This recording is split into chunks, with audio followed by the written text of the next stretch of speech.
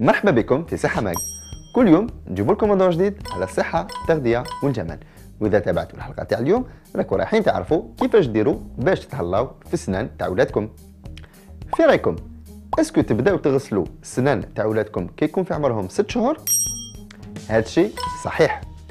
تنظيف الأسنان يبدأ كي تبان أول سنة عند وليدكم. وفي أغلب الأحيان يكون هنا الرضيع في شهره السادس. عندها ديروا قطعة مبللة بالماء وجوزوها على الأسنان. تاع وليدكم مرة واحدة في اليوم.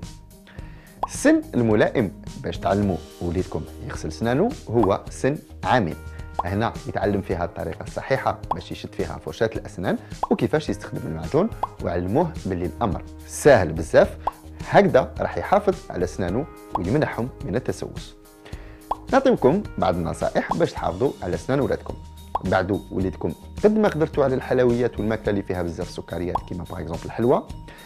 أعتنيو بسنان وليدكم كي تخرج السنة الأولى من فم الطفل كما قلنا لكم مقبل واستخدموا معجون أسنان مناسب لكل مرحلة عمرية.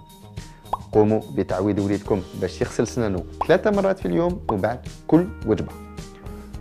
جد مهم لازم تقوموا باستشارة الطبيب باش هكذا يعاين الحالة تاع سنان وليدكم كل ست شهور على الأقل وهكذا راح تتأكدوا باللي راي تنمو بشكل سليم.